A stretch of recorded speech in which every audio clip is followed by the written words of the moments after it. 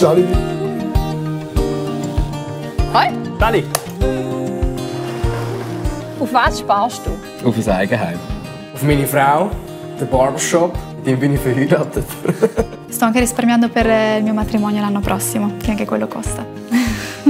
Wie sparst du? Quasi wie Eichhörnchen.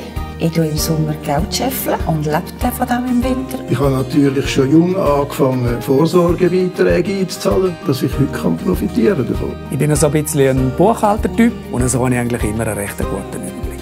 Je viens de terminer mes études et d'avoir ma première euh, place en tant qu'architecte. Du coup, je peux enfin commencer à mettre de l'argent de côté. Hast du uns noch deinen ultimativen Spartipp? Fair bleiben auf dem Spielfeld, weil eine rote Karte könnte sonst teuer werden. Il faut faire comme nous, travailler 55 heures par semaine.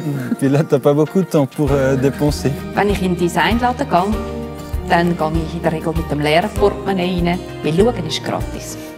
Nie innerhalb der Saison Ferien gehen. Am Wochenende nicht in den Ausgang, sondern auflegen. Und sparen mir so in dem Sinne den Eintritt und Getränke. Io uso sempre i trasporti pubblici che costano meno di una, di una macchina e poi mio ragazzo ce l'ha una macchina. Schauen, dass Ende Monat nicht auch Ende vom Lohn ist, weil das Leben bringt immer Außerordnung.